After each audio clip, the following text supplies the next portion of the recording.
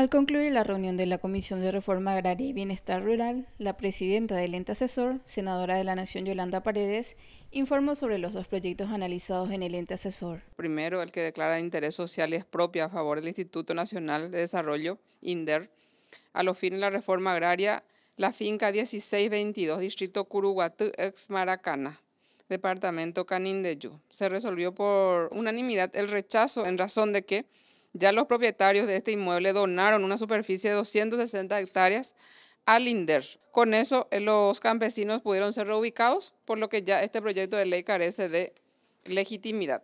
Y el segundo proyecto de ley es la que declara interés y es propia a favor del INDER, la finca 24 y la finca 36, distrito Yasucañí, departamento Canindeyú, y la finca 3109, distrito de U, Departamento Caguazú. Con relación a este proyecto de ley, la comisión se ha constituido en el lugar, se ha constatado que el inmueble no está ocupado, que realmente los propietarios lo están explotando, por cuya razón no procede tampoco la expropiación. Entonces, por unanimidad también se rechazó este proyecto de ley y pasa al archivo.